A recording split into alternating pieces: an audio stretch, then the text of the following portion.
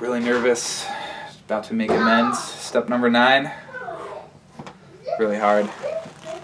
Wish me luck.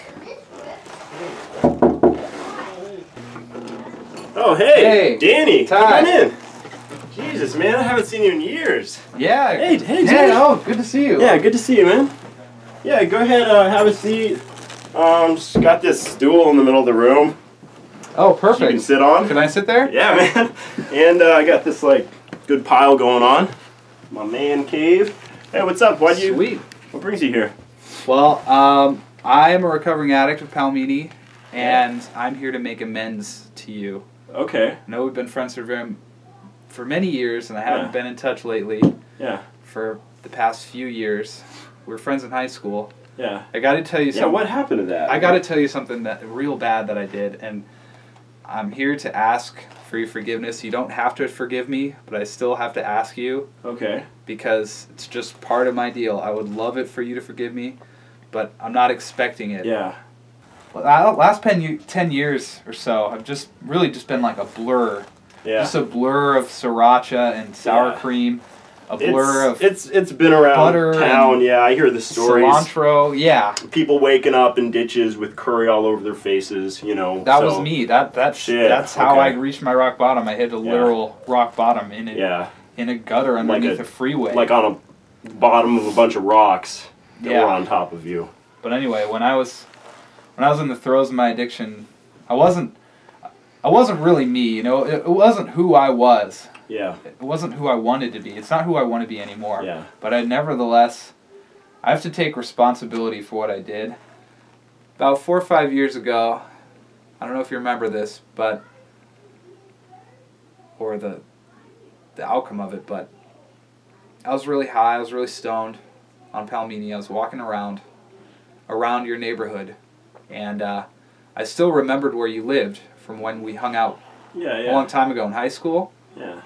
And I was all parties. I Pelmeni parties. Good times. But I think I went down a slightly darker road, and uh, than you did, and uh, I was I was doing Pelmeni all the time. Like I was never not high on Pelmeni, and I had run out of money. I had run out of Pelmeni. I had run out of resources, and I was just trying to get my next fix. So I decided to go into your house. So I broke into your house and I found your wallet while you were asleep. Yeah. And I stole money out of your wallet. I, I stole like $200. Wow. And um, I left, and to my knowledge, you never found out, but I was so ashamed that I could never face you afterward. Yeah. So I'm, Yeah, I'm I remember that. Yeah. yeah. I'm, you don't have to forgive me, but I'm just telling you so that I'm, I'm, I'm, I've done my part. Okay. Okay. All right. Um, yeah. First of all, you know, I appreciate you here coming me, telling me that. I had my suspicions at the time, but um, you know, whatever it was, I, I knew that someone who I hung out with had come over and screwed me over, and people after they get those meanies, you know, can be a little bit uh, a little bit off, you know. So I, I thought maybe uh, you know, in part it's my doing. Even even with what you've been going through, you know, like I used to host those parties. You know, every everybody was eating those pelmenis. You know, I, I used to make them for everybody. Um, yeah, I, I really want to forgive you, man, but there's there's just a few things on my mind. You know, one, it's been years. You know, and you come here and you say, you know, here's my story. Will you forgive me? There's no, how you doing? How's your life been?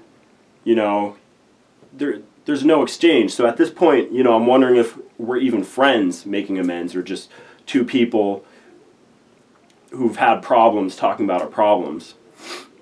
The other thing is, um, you know, there's the money thing, but then I remember around that same weekend, I had some uh, had some cumin in the fridge, some cilantro, and then um, you know a few bottles of it, and that just went missing. Sriracha, and uh, you know my friends would just expect me to make this stuff. No one else knew how to make it. The only one I ever told the recipe was you.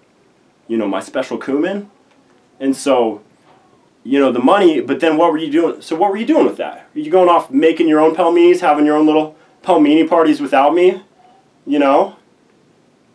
Be, being the big guy, the the party guy. Um, yeah, shit, man. I have to think about it. Yeah, we'll keep in touch, you know. But but thanks for coming by, and uh, I hope you have a good recovery. There's there's some things that you know maybe I need to make amends with too, and once I get it all in my head, then uh, we'll do this again as friends. But um, keep in touch. We'll go out go out to breakfast or something. It's, All it's, right. it's not over. Okay, it's not over. That's that's good enough. That that means it went well to Okay. my mind. Thanks for having me. Yeah. Yeah, take it easy. Take care.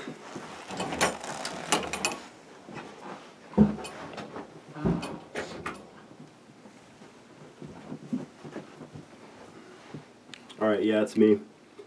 Yeah, there's gonna be a car that's taken off. Uh, just wait until they leave, and then um, just bring it to the back door. Yeah, all I need is one bowl. All right, all right, cool. Thanks, man.